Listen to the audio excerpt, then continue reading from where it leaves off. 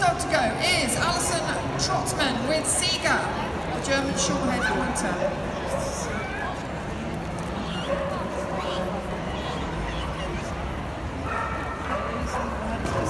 Nicely over seesaw into the tunnel.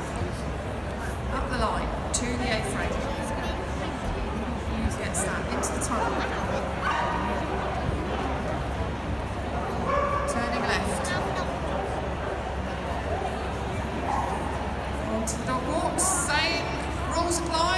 Regardless of the height of the dog, still have to get those contact points. Into the weaves. Nicely through there.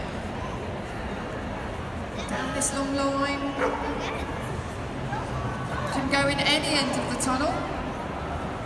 Got two to go, come on. Oh, that was a big jump. Make sure he got over that one.